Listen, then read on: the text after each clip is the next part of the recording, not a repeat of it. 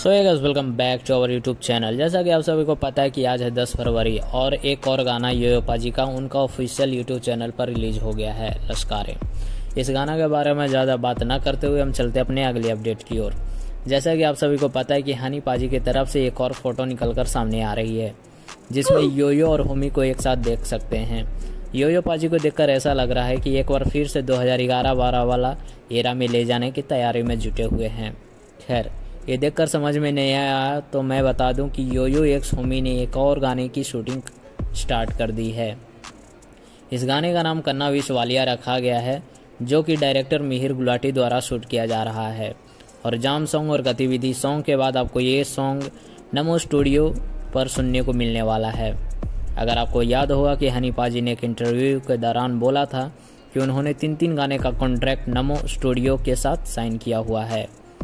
और यो यो एक्स होमी का ये वाला सॉन्ग नमो स्टूडियो के लेवल पर तीसरा गाना होने वाला है।